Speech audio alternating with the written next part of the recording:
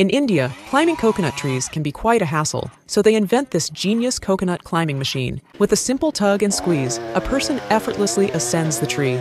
Despite its seemingly rough appearance, the process is straightforward. Insert the side into the large tree, lower the column wheel securing it to the trunk, hop on, buckle up, switch it on, and the engine roars to life.